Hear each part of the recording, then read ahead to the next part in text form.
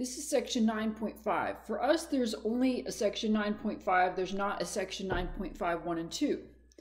So today's a big day in that we're finally going to be able to find solutions of systems of differential equations. We won't just be given solutions and verify that they're solutions. That being said, this first page is all review, and so I suggest you pause the video, work out this whole first page yourself, and then come back and watch the video. And so I'm going to make one video just for this first page, and then I'll do the rest of the lecture notes in two separate videos. Okay, so write out the um, write out the equations of the system. I always do this in two parts. First, I write the matrix equation. Big X prime is little x prime, little y prime, and that's equal to A x, which is little x, little y. Then I turn it into a system of equations. Um, remember, to, to find this product, you're going to dot this row with this column. And so our first equation will read x prime equals 1x plus 2y. And we don't put the 1 in front of the x. And then we dot second row with xy. So our second equation will read y prime is 3x plus 2y. All right. In the second part, I state that big X1 and big X2 are solutions of x prime equals ax. We're going to verify x1 is a solution.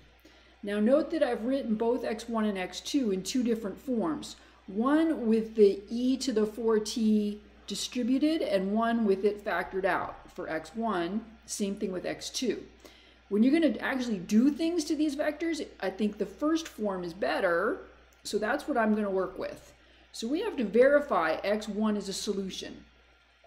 This is the part where we have to work with the left-hand side and the right-hand side separately, so we're not assuming what we're trying to show.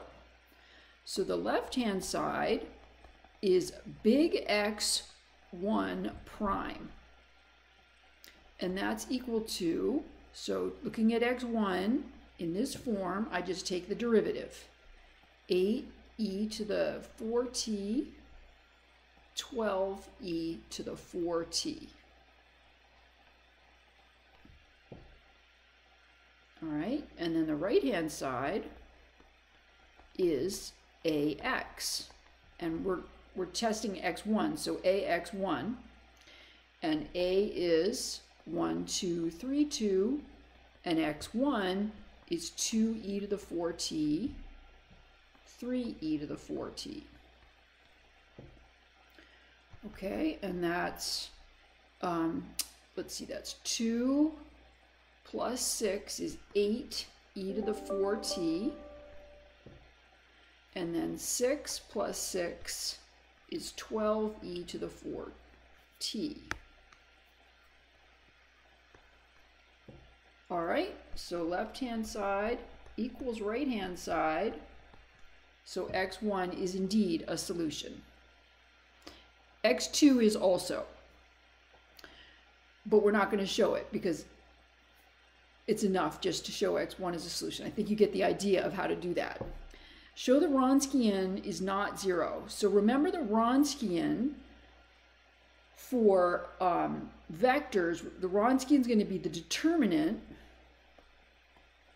of x1, x2 put in as vectors. We don't take any derivatives. So I'm going to put x1 in, 2e to the 4t, 3e to the 4t. That's my first column. And then put x2 in as the second column. Negative e to the negative t, e to the negative t. All right, take the determinant. That's 2 e to the 3t minus negative 3e to the 3t, which is 5e to the 3t, which is never zero. Finally, the general solution of the system is this. Find a solution to the initial value problem given by big X of 0 is the vector 1, 4. So on this side, for x sub c, meaning just general solution of the um, homogeneous, for on this side I'm going to put in x of 0, y of 0. And then on this side, I'm going to put t equal to 0. And that gives me c1, 2, 3. E to the 0 is 1, so I'm not going to write that down.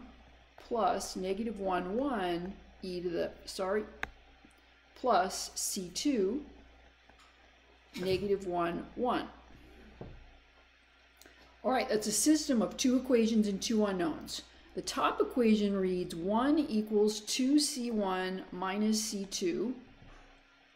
And the bottom equation reads 4 equals 3c1 plus c2.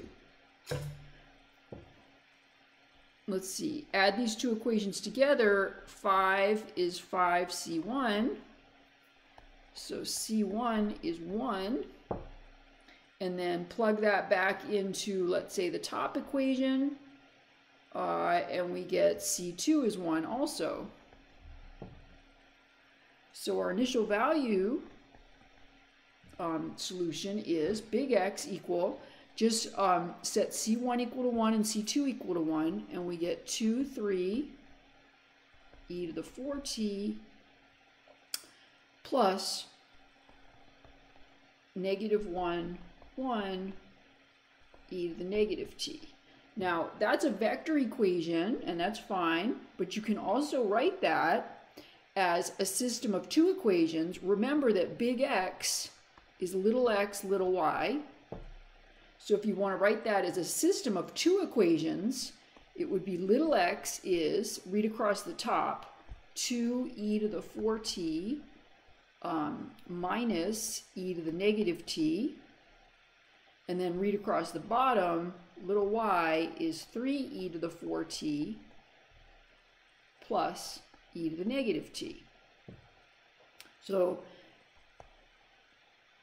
this is a vector equation, and this is a system of uh, two linear equations.